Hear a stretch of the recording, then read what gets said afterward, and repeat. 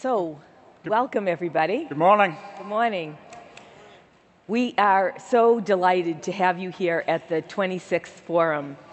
And it's a few days when we'll come together and all teach, all learn, we'll innovate and inspire and engage. And the energy in the room is just so amazing already that both Derek and I are so delighted to be able to share this with you. The last board meeting that we had of IHI, we looked back, as Gary said, over the last 25 years, and we started to think about the kinds of improvements that we've been making uh, with you around the world.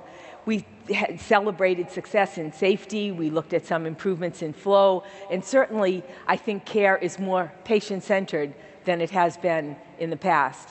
And then we looked forward at the next 25 years, as Gary said, and what are the gaps that we still need to close?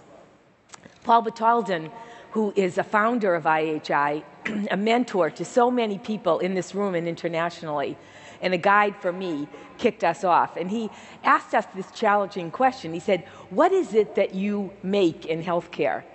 And he pushed us to move from thinking about giving care to really thinking about co design and co production. He said that the assets that our patients and families bring, that every team member brings, together, we could work in a different way to produce health and health care. And then Arnie Milstein, a researcher and an innovator in one person, pushed us to accelerate the velocity of improvement. We started to think, Derek and I with the board, about our moral imperative to decrease disparities and inequities in healthcare, to close those gaps, particularly in the United States, but globally. We talked about the need to create a real learning health system. We talked about the need to think about partnering with patients and families in a different way so that we understand not only the burden of the illness, but how we can redesign care to decrease the burden of the treatment. We talked about restoring joy to the workforce, and then the discussion got lively. So we had all of these challenges on our plate. So Derek and I decided that we would go out and try and find the bright spots globally to try and find out where the answers were. And this is what we found. We found that where there was confusion, where there was slow improvement, where there was a sense of culture that was holding people back, we found what Jim Collins would call the, the black or white thinking, the tyranny of the or. We found in those places where people were held back from progress that there was a sense that people were making choices, and you would hear in the leaders' conversations, or you would hear at the front line of nursing care, you would hear people saying, It's me or it's you. It's cost or it's quality. It's short term or it's long term. It's administration or it's medical. It's us or them. It's win or lose. And that kind of a sense really gave us a, a real visual on where we saw the tyranny of the or. Then, on the other hand, we visited places where we did see the bright spots. And it was a whole different sense of leadership, a whole different sense of culture. And here we saw the genius of the and. Here we saw patients and families partnered with providers. We saw clinical evidence used every single day with improvement science. We saw quality improvement and lean, PDSAs and value stream maps. We saw people who came together and said, we can partner in a totally different way. We saw the genius of the and. And so we decided that we should model and, and that we should speak to you together today. And so that's why Derek and I decided to come to the stage together and to talk to you about how we can move to the next generation by thinking about the genius of the and. And is the new or. We've got all these opportunities to move away from or thinking and to look at the assets in this room, in our organizations, in our communities. And when we start to think and, we're going to break down boundaries, we're going to create new partnerships, and we're going to find new ways in order to move this forward. So this morning, Derek and I are going to take you on a journey, and we're going to give you four ands that will help us to get to the next generation of healthcare. Derek. Yeah, that's right, Maureen. Four ways to thrive in the new world. Uh, but before we get into that, I have to confess I, I am a little bit nervous about the accent. It's okay, Derek.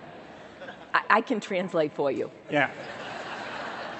So, so I was worried about your accent, not mine. Okay, I have we have been anyone who told can I have for Maureen? I, I've been told I have a small Boston accent, and we'll translate for We'll- each other. We'll help each other. All right. Ah, and as the new OR, we've been trying to put that in place in IHI strategic thinking. And so if you just focus on those two big blue dots in our one-page strategic plan, you can see that what we're trying to do here is take up Arnie Milstein's challenge and really accelerate the pace of improvement in healthcare. And IHI will never be done standing by your side, working to accelerate the pace of improvement in healthcare. However, at the same time, and as well as doing that fabulous work around improving healthcare, we need to also innovate and partner with organizations and communities to improve health. And so that is the first of our ands. The first of our ways to thrive in the new world is to work to improve healthcare and to improve health. Maureen, you're going to kick us off. So I'll kick us off by talking about improving healthcare. And as I mentioned, we have made a lot of progress in these last 25 years. I think we're seeing care that's safer and more person centered. We're seeing care that's improved in efficiency and effectiveness. And yet the complexity of care is improving, at, is increasing at the same time. So we still do have some big gaps to close. I think we need to build learning healthcare systems so that all of this knowledge becomes integrated at a system level. It's impossible for us as human beings to deal with the pace of change. So it's going to require leaders to think in a very different way about the systems of care that will allow us to provide the compassion in care. So we need, I think, improvements in healthcare, safety, flow, efficiency, and effectiveness. Those are system problems, those are leadership challenges. And that will allow us as human beings, as carers, to build our own resilience, and that will allow us to get to human care. We, about 10 years ago, almost, just on this stage at the forum, we launched the IHI 100,000 Lives campaign. And I do think that that campaign helped to accelerate the pace of improvement.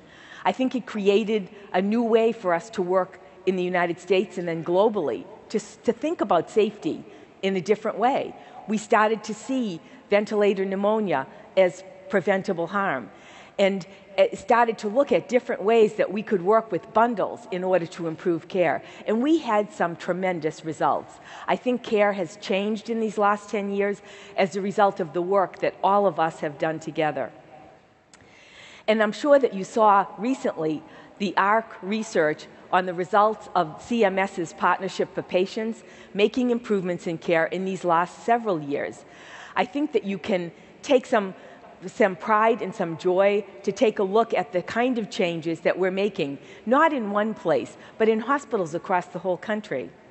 And I think we can all take pride, as Don Berwick said on this stage 10 years ago, that 50,000 people will get to go to a graduation or a wedding that they might not have been able to go to. And he talked about these people who may get to spend time with a grandparent that they may never have seen without the work that we're all doing here. And yet, I'm going to push us because as great as that progress has been, I think our definitions about safety have been narrow and limited. And now that we've got that track record behind us, we can start to think in a new, more expansive way about safety. So recently, uh, Derek led a, a trip down to NASA's command center in Houston, and we began to think in a very different way about what healthcare safety might look like. Uh, John James recently came up with a new framing for us to think about new ways to see harm. And he's talking about errors of commission as well as errors of omission, errors of communication, errors of context, and diagnostic errors. And I'm adding a different one at the bottom, which is errors in failing to care safely across the continuum. So going to NASA allowed us to ask this question what do all of these failures look like? And when you walk into NASA down in Houston, you see a big map on the wall. As you look at this map on the wall, time is across the bottom. From the time a space shuttle comes out onto the launch pad on the left, all the way until it's safely returned at home on the right, and distance from Earth is top to bottom. What this map told us is that we can, in one place, look at harm, employee injuries, risks, uh, near misses, and really get a sense of where in the journey of a rocket do we see the greatest risks, where do we see the greatest harm, and how do we prevent these kind of safety problems. So, what would it look like if we had a similar map for healthcare? Could we track the risks in a year of a life of a patient with multiple chronic conditions? Or could we look at this map as providing a sense of risks over the life of a person? What are the risks in the first hours of life? What are the risks that an adolescent suffers? And where are we most vulnerable in the frail end of life uh, days and weeks and, and years? Could we look at, as an example, an older person who stays in a bed because we have failed in queuing theory or reliability to find the next place for them? That that person is going to lose 1% of muscle mass per day by being bedridden. Do we see that as our safety failing? Or do we look at a patient who's got multiple prescriptions from different providers who now ends up falling and having a wrist fracture? Can we see that as our safety problem? I think we can map risks at every part of a hospitalization. We could take the NASA map as a view of hospital system safety and look at failures of connecting appropriately with primary care that cause uh, a test to be repeated on admission as a safety problem? And do we understand fully the context of a patient and family at home to know that we're safely guiding that patient to the next part of the journey? So at IHI, we're working on improving safety. We've got a wonderful, innovative team that's spending time thinking about what is the safety system across the continuum for our, our uh, patients and we're working on improving flow. As Derek and I have traveled the world this year, we have found in every place we visited flow problems. So we're looking at flow. Once we get these technical problems fixed, we're thinking about how can then we support you, the individuals who are providing care in many cases, to work on empathy and compassion. I don't know if you saw the recent, uh, recent research from Stanford on kindness and this is a, an amazing bit of research that shows that in many cases, kindness is more effective than an aspirin in preventing a heart attack. And kindness can be more effective than preventing smoking in a male adult for heart failure. So I think how do we balance this system of safety, re engineering flow, to provide a way for all of us as individuals to be free from the burdens of our care and provide kindness, provide compassion and empathy. Derek and I are going to talk this morning about this piece of our redesign work as being what an individual can bring. The systems work is on the leaders, but the kindness and the compassion is on the individuals. And what we're finding around the world is that individuals are finding their own resilience, their own joy, by stepping up and caring with kindness and compassion. I wanted to share with you this morning one example of what this can look like when an individual steps forward to add technical skills with kindness and compassion. And this is an example from Cincinnati Children's Hospital.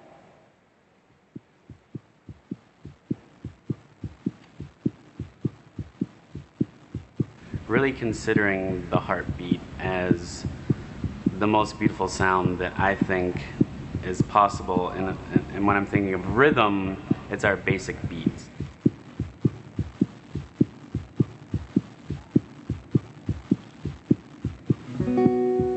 So, me using that as our foundation to create something that could preserve the humanity of a situation has been a focus of mine. The worry that a lot of families I work with that they would forget um, something like um, the way that they feel or the touch of their hand. It's my job as a creative arts therapist to find pieces that are still successful, that are working inside of them, um, focusing really on that quality of life. And the songs that come out are as individual as the families.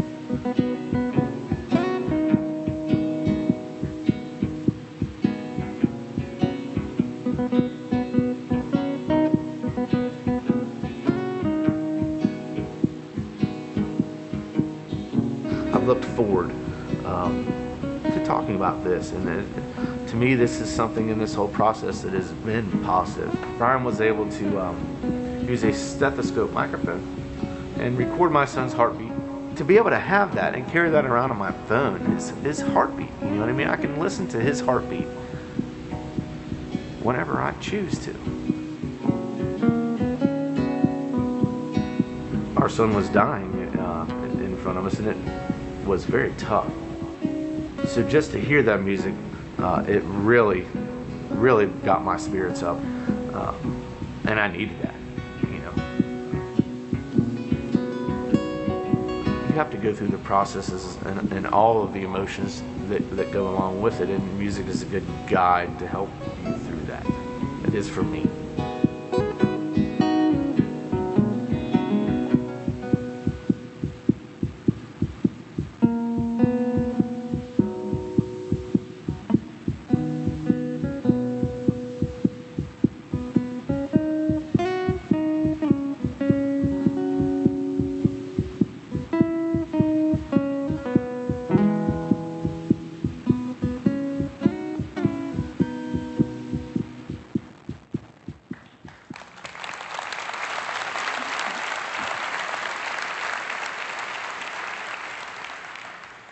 Amazing to hear Brian say that his job is to add to the humanity of healthcare.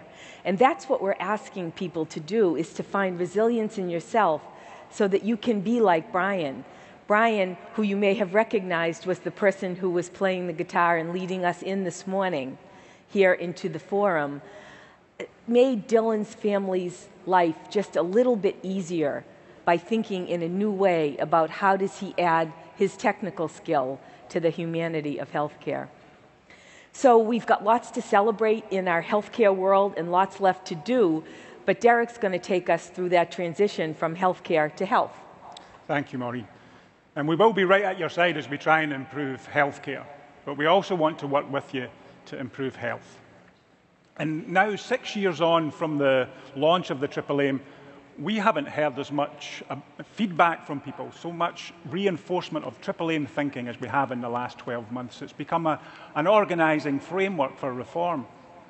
And it brings tremendous new opportunities for us to work on improving healthcare and improving health. And when we talk about health, we mean health for all, for the insured and the uninsured, for black and brown and white, for rich and poor. And there's compelling evidence that to make a difference, we need to address the social determinants of health. A 25 year old with a bachelor's degree will live nine years longer than a peer who doesn't get their high school diploma. The social determinants of health are such that healthcare can't do this work alone. But there's so much, so much that the people in this room can do. We can bring our will, our ideas, and our knowledge of improvement science to bear to, to tackle these previously intractable problems. We do need to be a better partner for communities. We do need to develop the humility to listen to what communities are telling us and to support them. And it, it does require courage.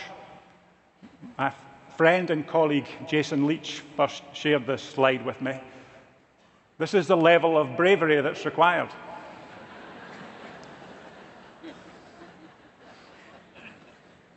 So we need to be brave. We need to be humble, but we need to be brave. There's a path to be set, and we need to set it.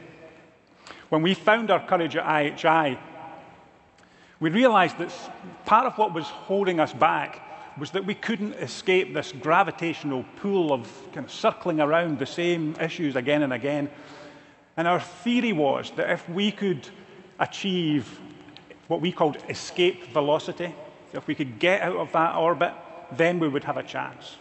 And our theory was that one of the ways to escape would be to set an audacious goal. And so we convened partners because we had the humility to accept that we couldn't do this alone. We convened partners in October. IHI strategic partners, Leadership Alliance members, community organisations, public health experts, and a set of Latino children with Down syndrome who danced for us to show what health meant for them. It was a fabulous meeting. It was an inspiring meeting. And we formed a guiding coalition from that meeting. And there are now 60 plus organisations committed to really making a difference for health and committed to a truly audacious goal. Now, Gary referred to this in his introduction, but just pause for a second to think of the audacity of this. To have 100 million people living healthier lives by 2020. And we are very serious about this. The coalition members are committed to implementation. Well, the guiding coalition is serious about um, delivering on this commitment. And we think there are probably four parts to that. There's the audacious goal itself, um, which is uh, an important component. But, and on, on top of the audacious goal, we need the catalytic social movement that will engage people, their hearts and their minds, and will change the culture. And we need a unifying coalition that will pull all of this fantastic work together in communities. And we need a campaign that's designed to achieve a measurable goal. And we think if we can do these four things, we will succeed. We will reach 100 million healthier lives. What does that mean for us in healthcare, for us in this room? It means a new dialogue, it means a new understanding, and it means a new prescription, I think. And many of you have already started down that path, and I want to recognise that. I had the great privilege and pleasure to visit uh, Richmond Medical Centre with Contra Costa County's inspiring CEO, Anna Roth. Anna and our team have looked deeply at the health needs of their community. They've really tried to deeply understand what their community needs and they asked them about the barriers to health. And these are the things that the community told them. 62% of people in that community experience food as a barrier to health. Hunger was a barrier to health. Housing was a barrier to health. Jobs were a barrier to health. They needed help with bills. And of course, they wanted excellent emergency medical care, but they needed help with jobs and food and bills as well. And so we know that physicians and clinical teams want to do things differently, want a new prescription, want to be able to meet social needs and medical needs. So let's help them. Let's use our collective voice in the 100 Million Healthier Lives campaign. Let's help people in communities find their feet and their energy too. And let's think about those social determinants of health and those social needs that people um, have and that we have a duty to fill. And we'll know things have changed when we see ads like this on the TV.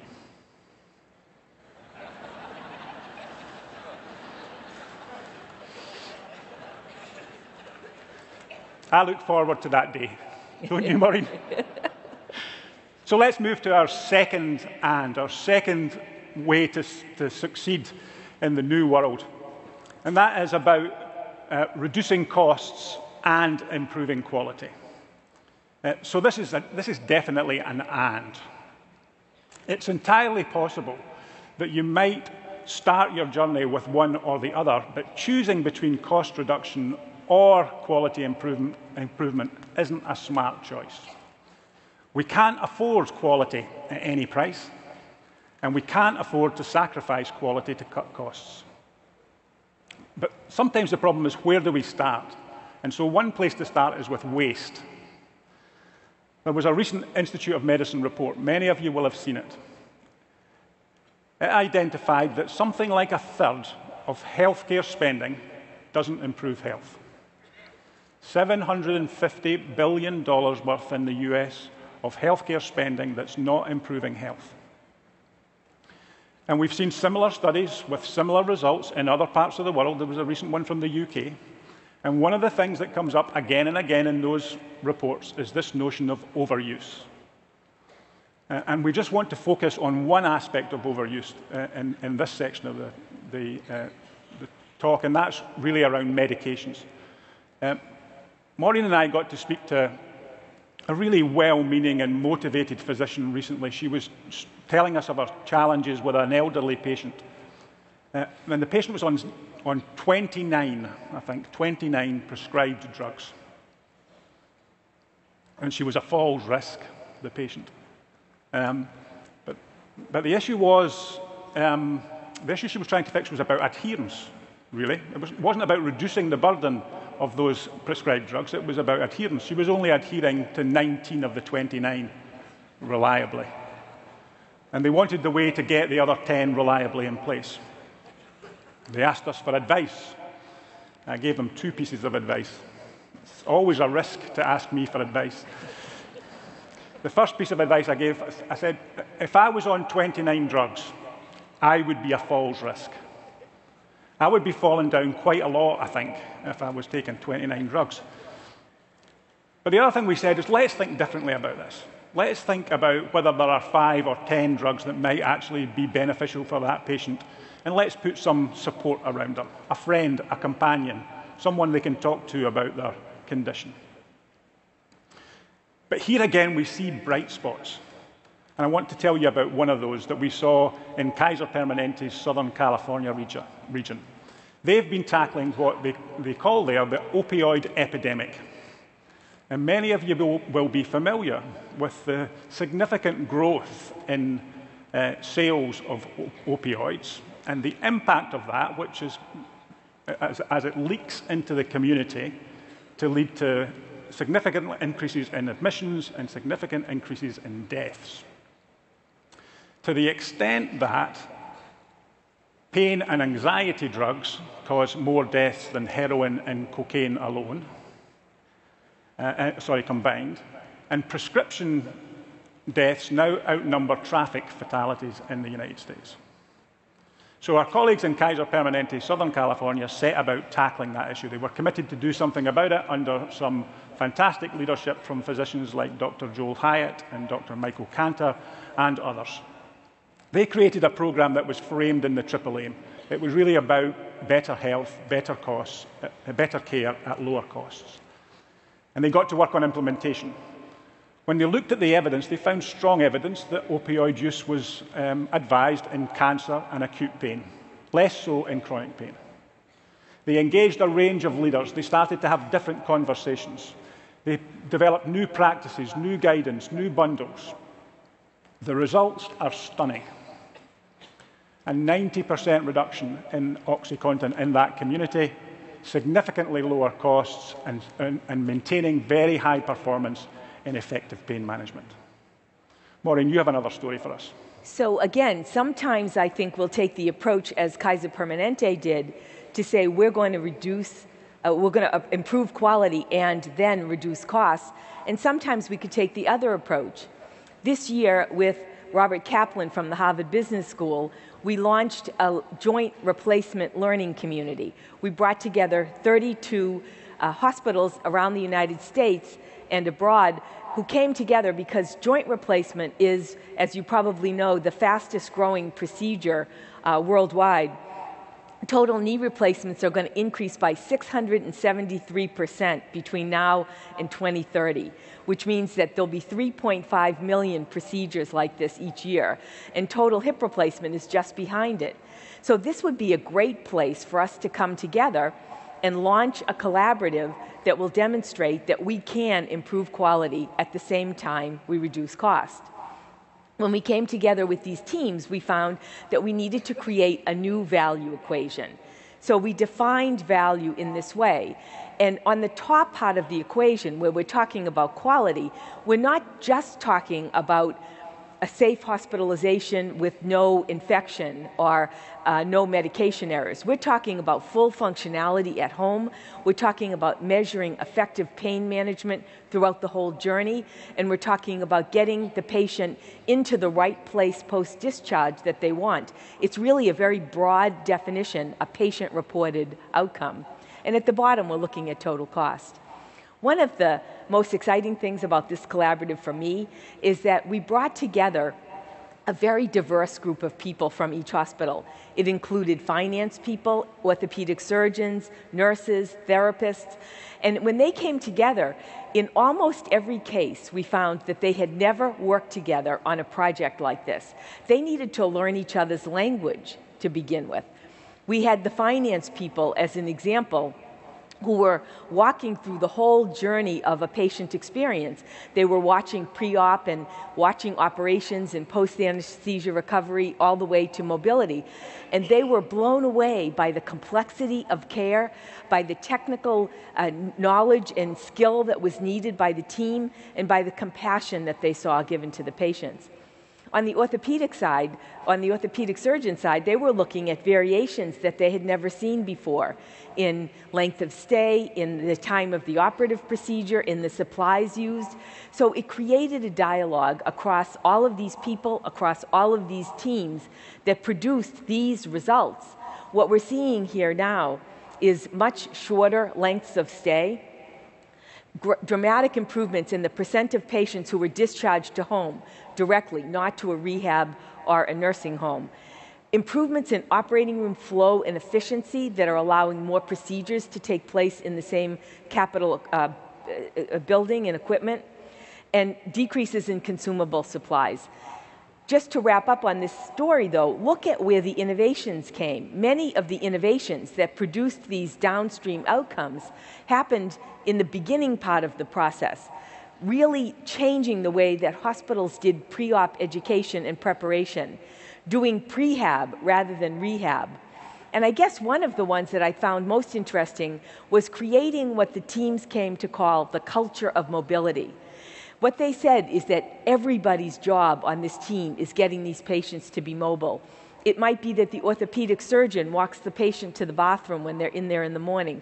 Or it might be that the nurses adjust their schedule with PT so that early mobility can happen on the day of surgery.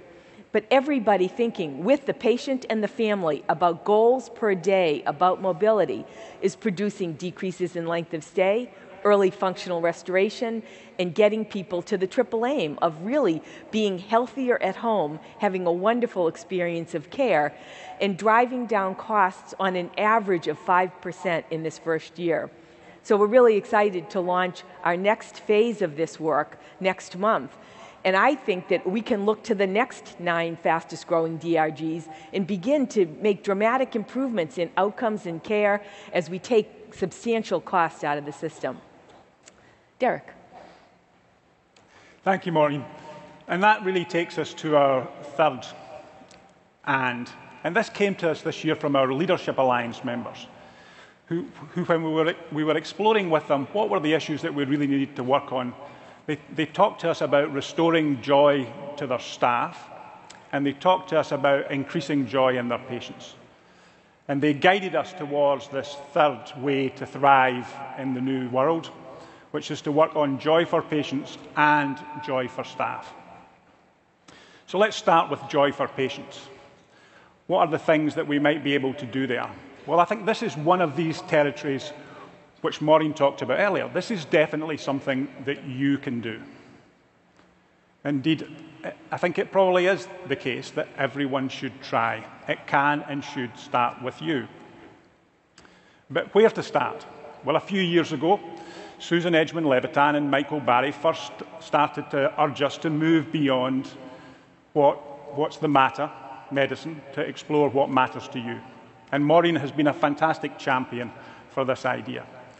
Uh, last year, she told you about Jen Rogers, a nurse in Glasgow, who was introducing what matters to you in her paediatric hospital.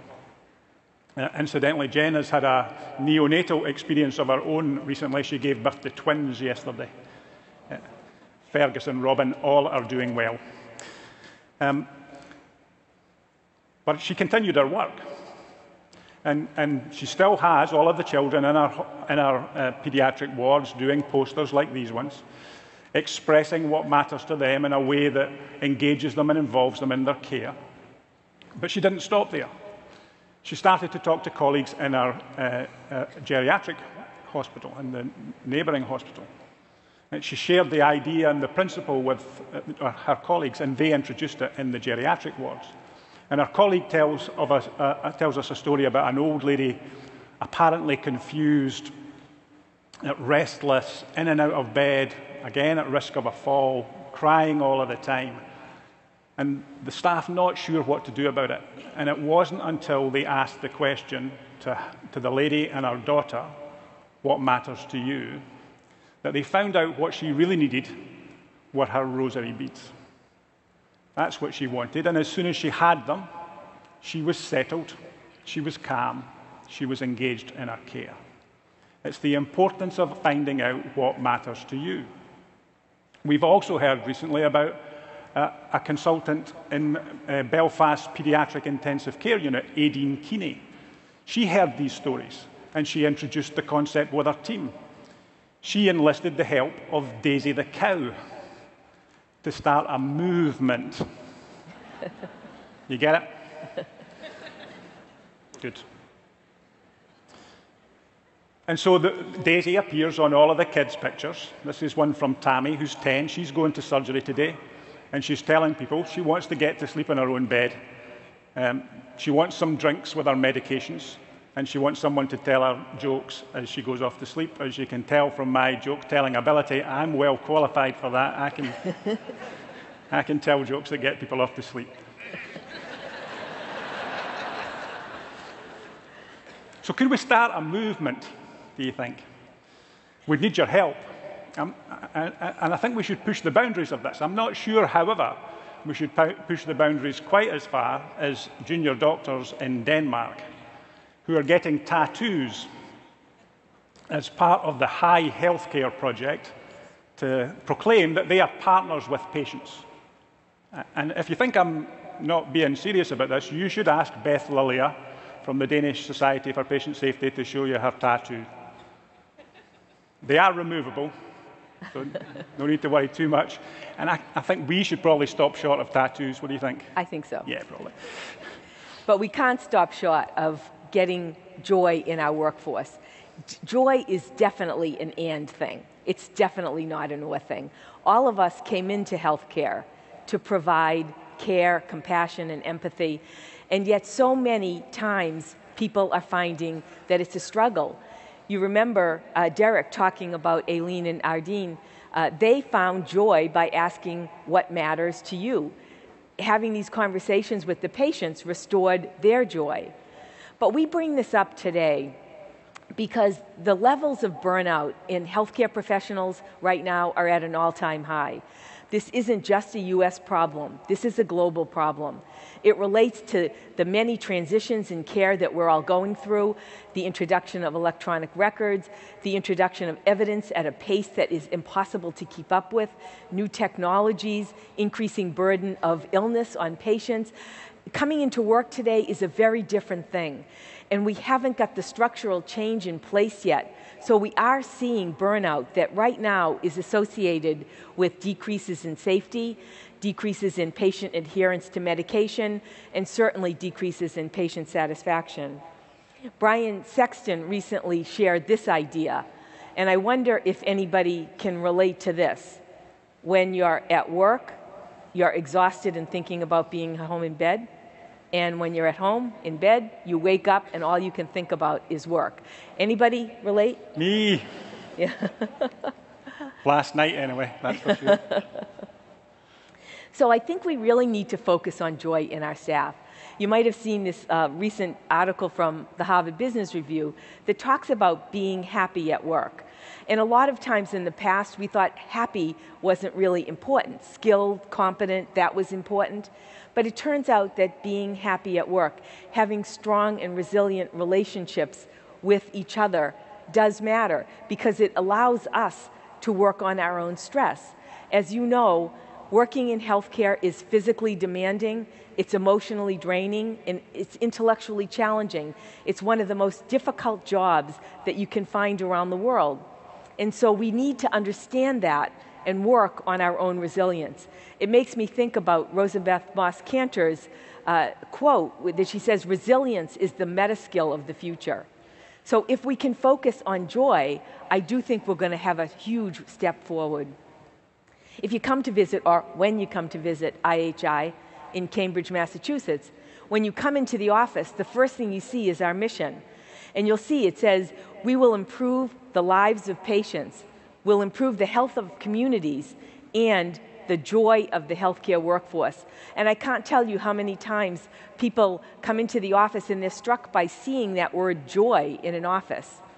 So when you come in, we're telling you we care about joy. And when you leave at work each day, Hans Hartog, one of our fellows, created a research project and an improvement project for us. So when the staff are leaving each day, we ask them to think back about the day.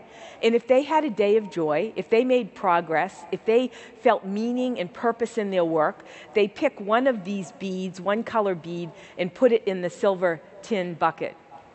If they had a day of setbacks, if they had time issues or constraints, if they didn't feel joy in work, they take a different color bead. And each week we're looking at run charts to find out where are we holding people back from joy, and we're running PDSA cycles to try and improve the joy of the workforce at IHI. It matters to us because our mission is huge, improving health and healthcare worldwide. And if we can't find joy and resilience in our work, we'll never get to our mission.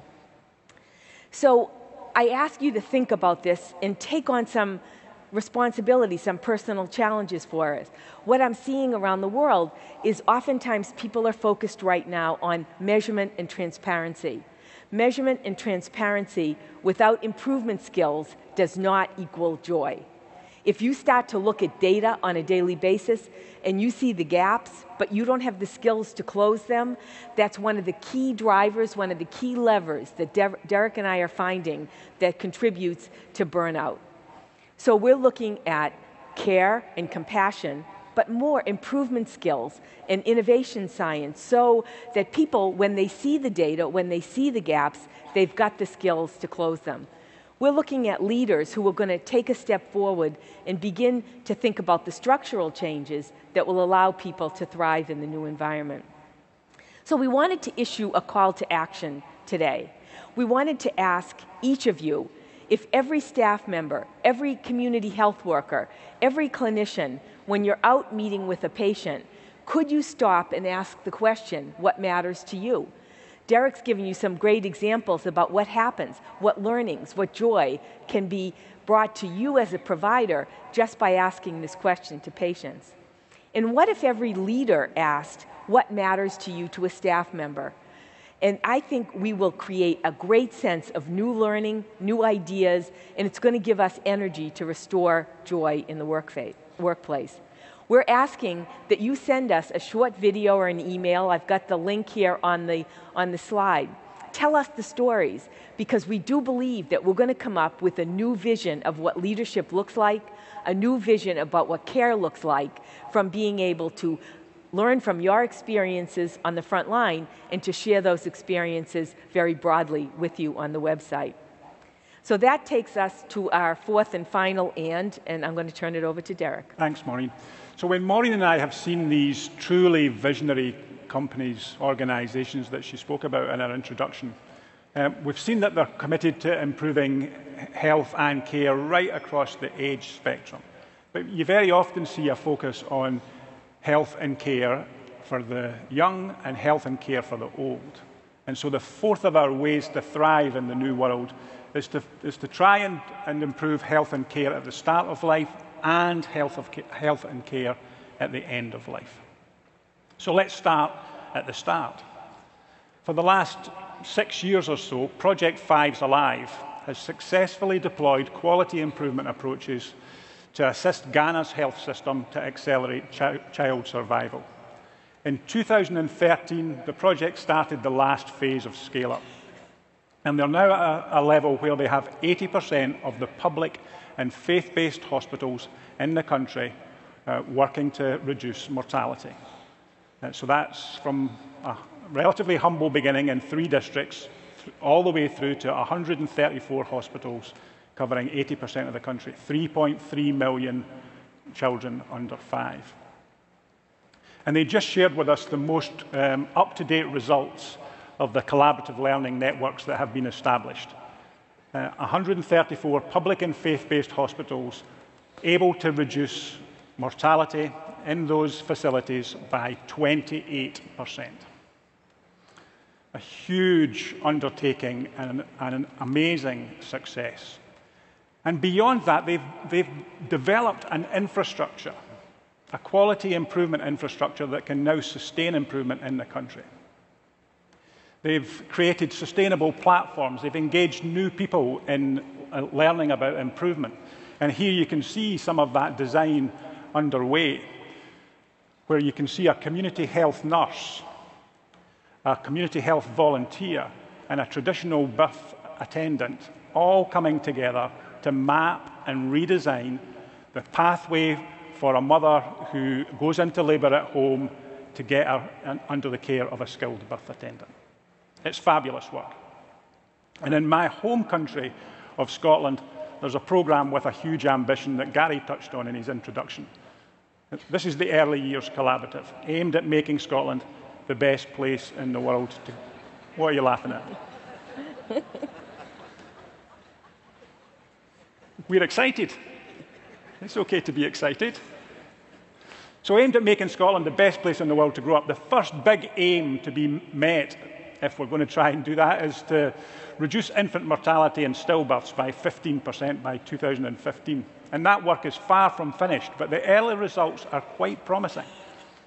The, uh, uh, the stillbirth rate is reducing. We've had the first real shift in the data for 10 years, so early promise there. But actually, the stuff I want to talk to you about is really about what this program is trying to do with, with health for the early years. Because the real power in this approach is about the way in which it gets healthcare workers and school teachers and kindergarten teachers and police officers working together to bring the best out in their communities. So, improvements in bedtime reading so that social attachment and readiness to learn can be improved. Using improvement science to more quickly find a permanent home for an at risk child. Using improvement skills to, to raise parenting skills. And I think that's the way that we have to go. We have to engage all of the assets in the community, as Maureen was telling us uh, uh, earlier. And so we wrap up on health and care at the end of life. There are some great lessons that we can use here to reduce health disparities and health inequities across the country. We can think about them in the early years, in the middle ages, and at the end of life. I think in 2015, this focus on reducing health disparities at all parts of life is going to be critical. But I'll wrap up this afternoon, by, by this morning, by talking about the, the, early, the later years in life. What we're finding is that the most rapid growing piece of our population are the elderly, and that many of them are living at home the older people want to be living and thriving in their communities. And as Jennie Chin Hansen, one of our board members, says, the, the older folks are looking at living their lives. They're looking at 365 days a year of life. They're not focused on the design of the five days a year, perhaps when they might be in a hospital. So let's think about how do we take up Jennie's charge and keep the older people in our communities healthy at home. You might remember me talking at a prior forum about Esther.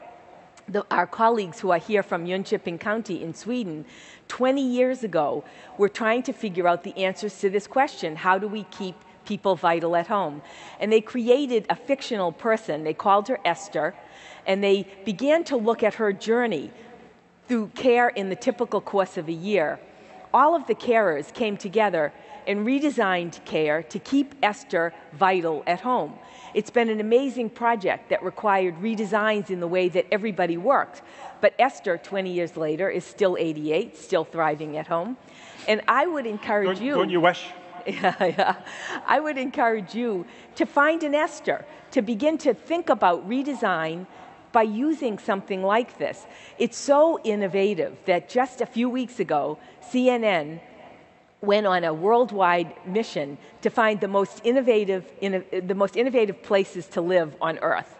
And they picked seven cool innovations, and Esther was one. So all of our colleagues in Sweden deserve a huge round of applause for, for helping us to see the way to keep older people vital at home or in the community wherever they want. Now, elderly people will get sick, and when they do, they need a different kind of innovation. In Montgomery County, in Maryland, we're seeing innovators come together and they're learning in one apartment building, one subsidized apartment building, where are the risks for these elderly patients and when might they need help? How can they work in a different way to keep them healthy at home in their apartments? a multidisciplinary team of an EMT, a pharmacist, and a physician are studying each patient and they're looking at risks. They're looking at when are these patients, these people, most at risk for becoming patients, and they're transforming the way that they care for these people with counselors in the apartment building. It's as Tom Nolan would say if you learn for the one, then you can manage the population. So learn for one patient where are the risks, and then extrapolate that to the, uh, the apartment building, and then this can be spread to the whole county. And it will be an Esther project, I think, in the making. And at the end of life, when care may not be the right answer, I think we need to think in a very different way about we, how we approach end of life. There is a physician I want to introduce you to this morning. His name is Dr. Lachlan Forrow. And some years ago, I named Dr. Forrow the doctor for your soul. I think if you watch this short video, you'll see how Lachlan approaches care at the end of life in a very different way.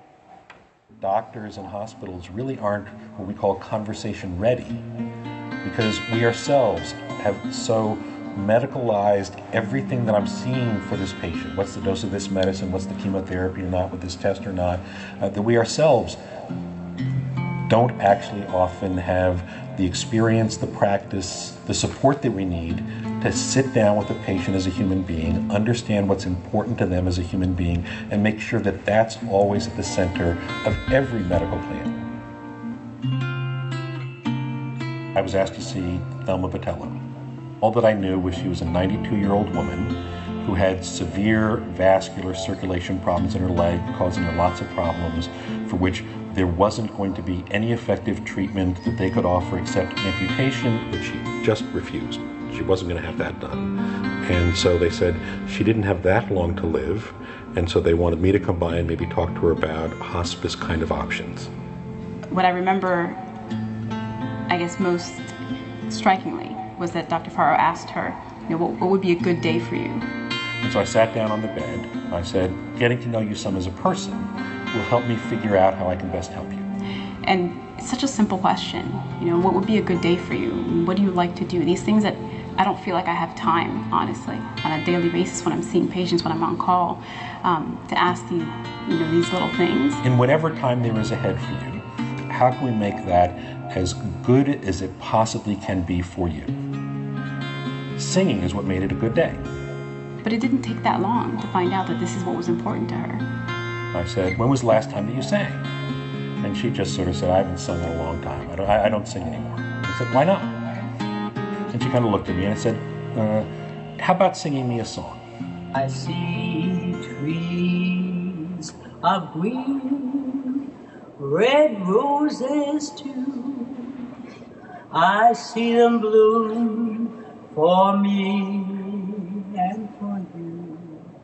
And I say to myself, what do you say, darling?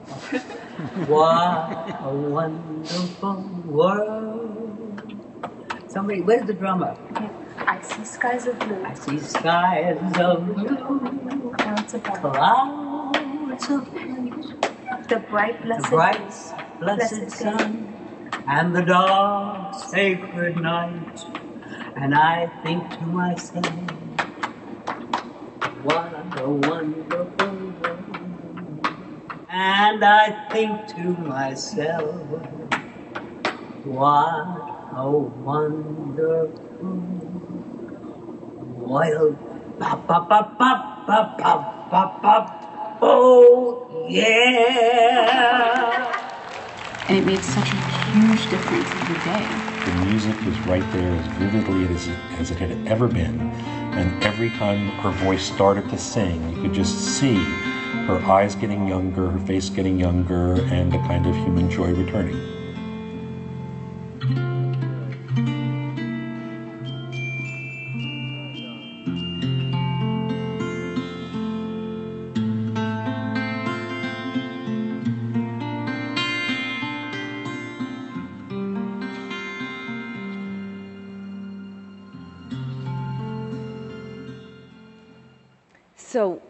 When you walk into a room, do you see a 92 year old patient with a clinical vascular problem, or can you see Dolly? And I think that's the magic of the way that Lachlan cares for health and healthcare by asking the simple question. Improving health and healthcare worldwide is going to require us to think in many new ways. We're going to have to extend the periphery of our vision. We're going to have to start working in partnership as Derek has said, with people who may not be in our sphere right now. We're going to be working on accelerating healthcare, the improvement of healthcare, and working on health at the same time. So we've got our challenges cut out for you. We might need new roles. We might need, as an example, to create upstreamists, people whose job is to prevent healthcare problems. We might need diffusionists, as as Steve Swensen has implemented at Mayo Clinic, people whose job it is to make sure that spread happens quickly and reliably to every part of the system. We might need extensivists who are caring for patients like Dolly who are at the most frail part and vulnerable parts of their life. We'll need new ways to look at data. In an ACO, you might be looking at data for all of the diabetic patients in your panel. You might be looking at a very high level view of how am I doing with all my cardiac patients. And you'll know what, how many there are and, and where they are. But right down to the individual level, we're going to know a great deal more about each individual patient. You'll know the clinical lab results and the x ray results, blood pressure and vital signs, but you'll also know perhaps that a 50 year old man who's been pretty stable is undergoing a, has lost his job and is going through a divorce. That's going to require a different kind of medical interaction, a different kind of health interaction if we're going to keep him vital at work. So we're going to start to look through new lenses, like North Shore LIJ, where they put out, they're looking at data to predict and to plan for care even before it's needed. Or Kaiser Permanente, where when a patient comes in for a visit, they know everything about that patient, everything that's happened, and everything that's going to need to happen in the next months in order to produce the best care. So, as we go out today, I'm going to ask you to think about all teach and all learn, and we're going to put out a challenge about your and. Think about what is it that you will add to your portfolio when you go back. What ands do you want?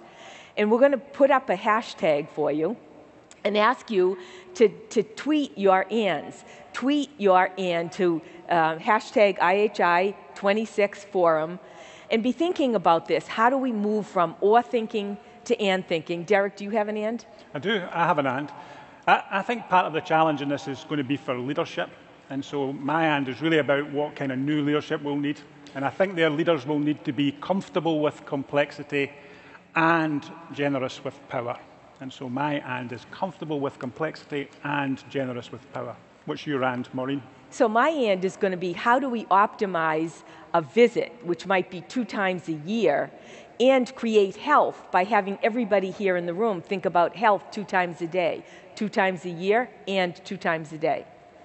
So tweet us your, your ands. And as we send you off today to the rest of the forum, we're going to ask you to do a couple of things. This is your homework, so to speak. First, we're going to ask you to ask a family member or a colleague what makes a good day. I think you'll be surprised at the answers. Next, we're going to ask you to look out and find who's doing something better. Find the curiosity in your life as you're here at the forum to say, who's doing it better and how can I close that gap? Third, we're going to ask you to build your own resilience, to think about yourselves every single day. Build your own resilience, build your joy. It will be the way that you're able then to provide care for others. And lastly, ask the next patient you see what matters to you. As we send you off with all of these ands, I think those four questions will really help in a huge way to begin to balance the complicated work we've got ahead. So, as we move to close our session here today, we've asked Brian to share with us, to remind us about what Dolly said. What a wonderful life it is. Thank you all.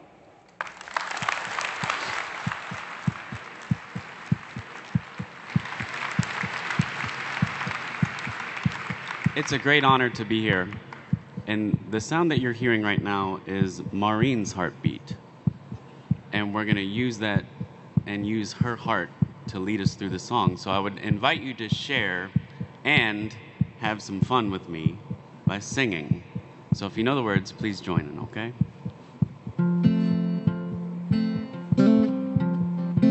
I see trees of green, red roses too. I see them bloom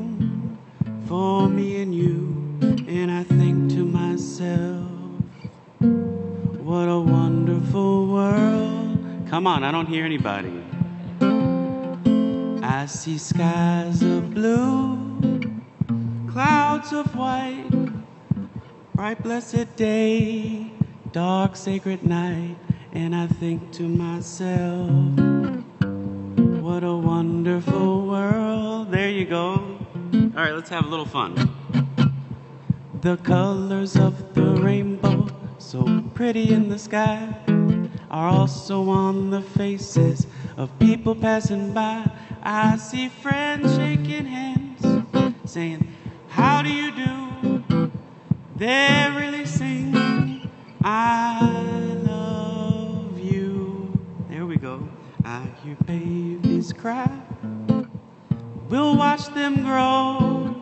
They'll know much more than I'll ever know. And I think to myself, what a wonderful world. All right, one more time. Right, Dolly? Just like Dolly. And I think to myself, what a wonderful world. All right, now, big finale. Come on, like Louis Armstrong, okay? Oh.